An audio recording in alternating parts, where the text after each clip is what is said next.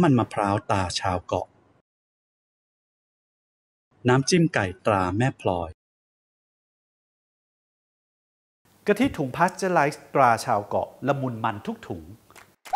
สวัสดีสวัสดีครัค่ะบ Good Mood Good Food นะครับ สวัสดีครับ สวัสดีค่ะพี่พหันลมาแอบเห็นจานมา นี่เคยมีอารมณ์นี้ป่ะ ที่แบบว่าจะไหว้ผู้ใหญ่หรือบางคนเขามองไม่เห็นฮะหนูก็จะคืยืยนกแล้วอะแล้วเรายกก็อยู่จะตรงนี้เสยผมเอ่ออะไรอย่างงี้ยเป็นค่ะพี่พลแต่ให้ของหนูจะคือค้างไว้เลยค่ะ แล้วก็คือร่องรอจะค้างไว้ยอ๋อร่องรอยไว้อยู่ตรงนั้นสักพักหนึ่งค่ะ ถ้าเกิดไม่หันจริงๆหนูก็คือปล่อยค่ะอ๋อไม่ได้เดินไปสะกิดพี่ค้าหนูจะไหว้แบบว่าช่วยก็หันคือมาเกรงใจเขาก็อาจจะคุยกับคนอื่นแล้วก็ค้างไว้จนเขา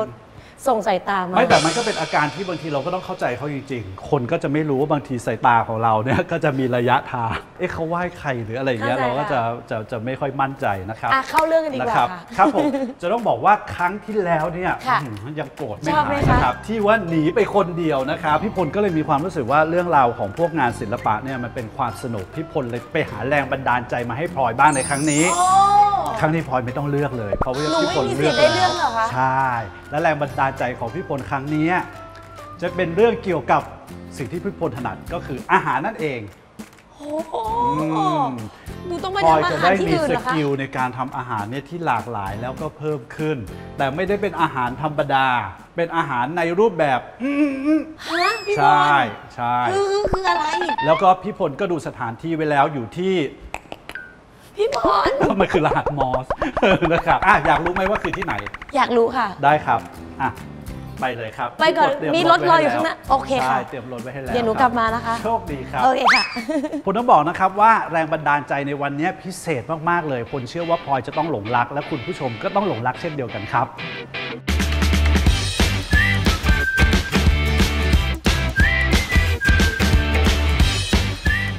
ก็เป็นที่ที่พี่พลนะคะ ส่งพลอยมา ซึ่งเขาบอกว่าอยากให้พลอยทำอาหารเอ๊ะทำไมส่งมาที่แมสตูดิโองงมากเลยอะเดี๋ยวเข้าไปหาพี่เอกกันดีกว่าค่ะว่า ที่นี่มันคืออะไรกันแน่มาเร็ว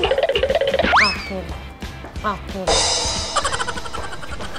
เล่นมุกทำไมอะสวัสดีค่ะพี่เอกสวัสดีครับพลอยพี่พลครับเขาส่งพลอยมาที่นี่ค่ะ ให้ครับพลอยผมมาทำอาหารค่ะ ซึ่งเออพลอยเห็นแต่กระดาษกันไกรกับทุกสิ่งทุกอย่างแบบนี้พลอยไม่รู้ว่า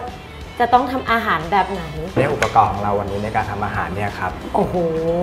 และที่นี่มันคืออะไรคะจริง ๆ แล้วเนี่ย อ่าที่เนี่ยเป็นสตูดิโอครับผมสอนศิลปะ โรงเรียนติวด้วยครับ บุคคลทั่วไปก็เป็น painting อ่าฮะ เป็นเวิร์กช็อปเป็น paper craft หลาย ๆ อย่างอ๋ออะไรที่เกี่ยวกับ craft ต่างๆ ใช่ไหมครับผม คะ แต่ว่าวันนี้จริง ๆ แล้วเนี่ยเรามาทำ paper craft กันถูกไหมคะ ใช่ครับผมพี่เอกจะเป็นคนสอนพลอยหรือเปล่าคะ เปล่าฮะ เดี๋ยวผมมีผู้ช่วยอีกคนหนึ่งที่จะมาสอนคุณพลอย พี่เขาชื่ออะไรคะชื่อนุ่มครับ พี่นุ่มเหรอคะใช่ครับโอเคค่ะ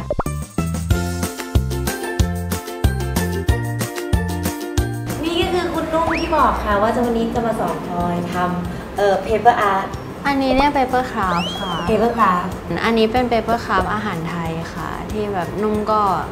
ลองคิดขึ้นมาดูค่ะ นี่ตัวอย่างค่ะนมเบื้องเหมือนเวอร์นี่ค่ะมีเป็นแบบผัดไทยด้วย แต่มันเก๋ตรงไหนรู้ป่ะมันเก๋ตรงที่ข้างนอกอะมันเป็นเหมือนปิ่นโตไงเอาหลุดเอาอีกแล้วมันเก๋ตรงที่ว่าทำหลุดไปดีมันเก๋ตรงที่ว่ามันเป็นปิ่นโต แล้วก็มีเป็นกุ้งด้วยทำยากไหมคะ ก็ไม่ยากค่ะ ไม่ยาก แหมคุณนุ่งคุณนุ่งทำบ่อยไงคุณนุ่งโอ้ไม่ยากอะเนาะถ้าให้พลอยทำพลอยจะทำได้ไหมเนี่ยแบบเนี้ยพี่พลอยทำได้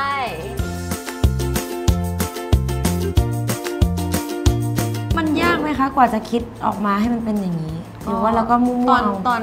ก็มัวๆเอา แต่ว่ามั่วๆเอาจนออกมาเป็นอย่างนี้ ใช่ ทีนี้นุ่มตีเป็นเซนเซนไว้ให้นะ ก็คือเราทำในส่วนของตัวของกุ้งก่อน ใช่ค่ะ เหมือนเราจะต้องทำจุดกึ่งกลางเอาไว้ ถ้าดูจากอันตัวอย่างใช่ไหมคะ น้องจะมีสันหลังนะคะ ยืดอ๋อเขาเอาไว้ เพราะว่าเขาจะได้ไม่ไม่แตกออกจากกันนะคะ ก็เหมือนมากเหอะอันเนี้ย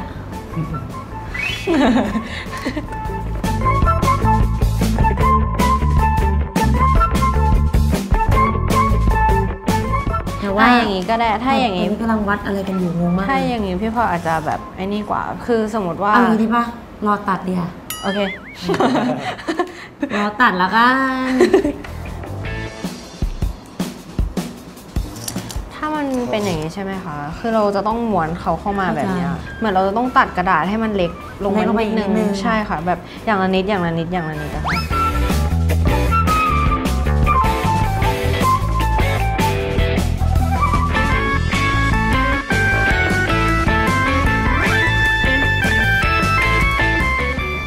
แตะกันละกัน ใช่ค่ะ พอแตะทีเนี้ยเราก็จะกะได้ว่าจะเอางอขขนาดขไหนนาดไหน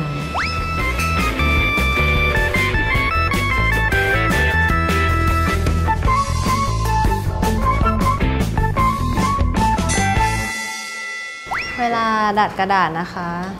เราเอากันไกรอะค่ะ เหมือนทำแบบเนี้ยค่ะ มันจะเริ่มงอ อืมอืมอะพอเอ้าจะขาดไหมอะ เวลาลูดอะค่ะอย่าไปสู้เขา ถ้าสู้แล้วเขาจะบาดปล่อยเลยพี่เอกไปถึงไหนแล้วคะ นี่หนูได้เส้นแล้วนะคะพี่เอกบอกว่าอ๋อพี่ตัดฝอยไปเนี่ยถึงพรุ่งนี้ละ อันนี้ไส้หนมเบื้องครับ เราเหมือนต้องพับสีแต่อย่ากรีดนะคะ จับตรงกลางอะค่ะ จิกไปนิดนึงแล้วก็อย่างเงี้ยค่ะ แล้วก็ดัดๆนิดนึง แล้วก็อันนี้ขยำขยำเลยแล้วก็ขยำ กินเข้าไปเลยค่ะ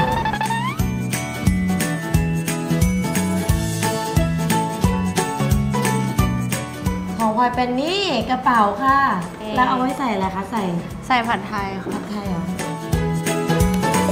โรยลงไป เต้าหู้อีกอะไรอีก นี่คือ Top Chef นะคะ คุณต้องจัดจานให้มันแบบ สวยงามนะคะ ฉันบอกคุณแล้วใช่ไหมว่าให้จัดจานแบบนี้ ร้องไห้คุณต้องจัดจานให้สวยใช่ไหมกระดานกระเป๋าผัดไทย พกไปได้ทุกที่ กินไม่ได้แต่พกได้ วันนี้ต้องขอบคุณทั้งสองคนเลยนะคะ นี่ที่มาสอนทริคเล็กๆน้อยๆแต่จริงๆแล้วอะมันใช้เวลานานเหมือนกันเนาะใช่ได้ค่ะพี่พลหนูมาตามอย่างที่พี่บอกแล้วค่ะ เป็นยังไงคะ หนูก็สามารถทำได้ค่ะ ถามว่าสนุกไหมคะ หนูก็สนุกค่ะ